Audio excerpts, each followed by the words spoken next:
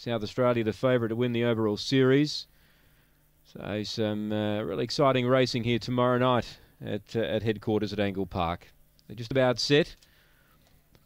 Ready to run. Buff Buzz the favourite. All ready now. Racing. Buff Buzz began well. More speed, Mary Nyasaland, but Buff Buzz utilises box one here, and Rhoda Blade slipped up on the inside of the pair of them now. So they go together, those three. Three links on Dinah Palms, then Justice Mary. Well back, G Me Up and Shaker Breaker. Getting clear, Mary Nyasaland. They bunched up front and she dashed away. Four links on Rhoda Blade and well out in front, Mary Nyasaland. Uh, wins by about seven in the end. Uh, Blade second, Shaker Breaker, Dinah Palms for third and fourth.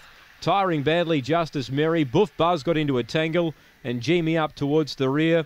Time is around 22.90. The uh, winner here, number three, Mary Nyasaland.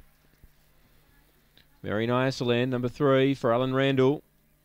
Breaks away, too good for them. Seven second Rhoda Blade. Eight third Shaker Breaker. Just have to watch the replay here to find out uh, the favourite Buff Buzz if it did get tangled because it was right up there contesting the lead up towards the home bend. Uh, with Rhoda Blade and also the eventual winner Mary Nyasaland. And Buff Buzz wanting to get off down the back.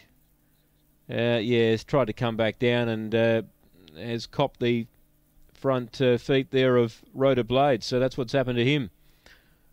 So uh, Mary Nyasaland races right away, took advantage of that uh, scrimmage and pulls away to win by nine lengths, nine by one, nine by one, three, seven, eight, and four are in the frame here. Seven twenty early, twelve sixty eight on the way home. 22.93 the time, 3784 after race three from Angle Park.